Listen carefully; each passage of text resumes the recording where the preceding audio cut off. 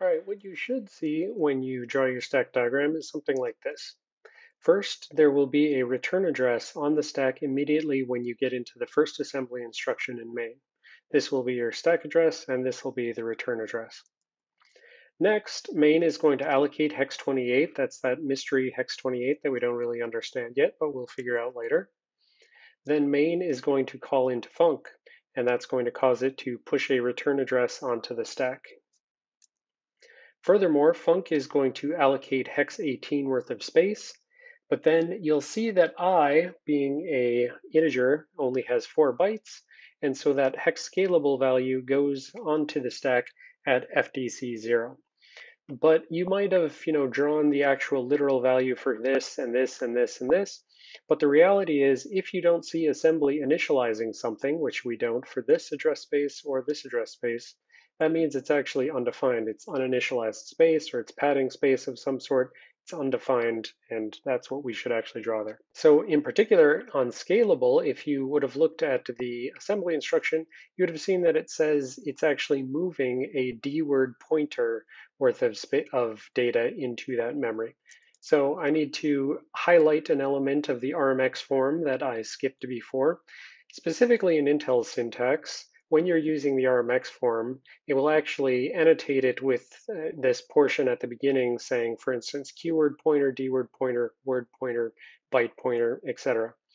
And so that's essentially telling you in this move instruction that's moving some value to memory. So here it's using immediates to memory, here it's using a register to memory. It's telling you what is the size of data which is going to be written to memory. And I told you before when we were talking about uh, you know, values being written to registers. I said that, you know, if you're moving a 32-bit value to a 64-bit register, Intel, you know, expands that with zero uh, extension. But I said that doesn't apply to memory.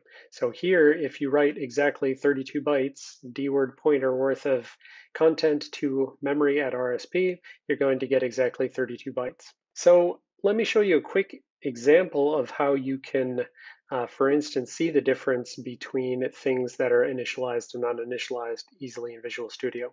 So in single local variable, if we go ahead and start the debugger, going to go ahead and continue and hit this breakpoint at func.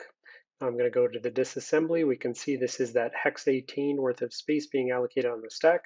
I've got my memory window down here that is at RSP and it's continuously reevaluating so that it always stay at RSP. If I now step over this instruction, it will have done the sub 18 RSP. I can actually click into the memory view here, and I can just start typing ones. And so I can go ahead and initialize this hex 18 myself to all ones. And now when I step through the assembly, I will see when stuff changes. So this next instruction is going to be moved scalable to RSP, D-word pointer size, so it should be four bytes. If I step over this instruction, I will see scalable is there, but this is all still ones, meaning that, you know, it wasn't actually touched. But I can further, you know, change this to a four byte view instead of an eight byte view, and then it'll make it more clear that these ones were not touched whatsoever, and these four bytes right here just had scalable move there. So that's a little trick that'll possibly be helpful for you in determining uh, what is, you know, initialized, what is uninitialized, but really the authoritative source is, you know, what are the sizes that are being specified uh, in move instructions when things are being, you know, targeting an RMX form. All right, so what's our takeaway from single local variable? Well, we can see that local variables are allocated on the stack. So this assembly, taking this value for what is clearly the local variable i, putting it onto the stack at RSP means that, you know, local variables must exist on the stack. But another big takeaway is that Visual Studio is clearly over allocating space on the stack for four bytes of data. It's allocating hex 18, and we don't know why that is. So let's go ahead and add another thing to our mystery list. Why is Visual Studio over allocating space for a single local variable?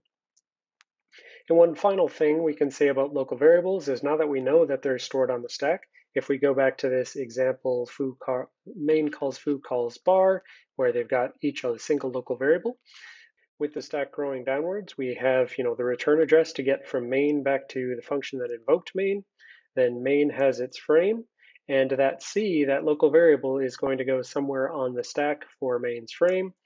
And when main calls to foo, there's going to be a return address to get back to main. Then we have foo's frame. Foo has a local variable b. When foo calls bar, it's going to have a return address on the stack. And bar has a single local variable that it uses on the stack, but it doesn't call anything, so it's not going to have any return address.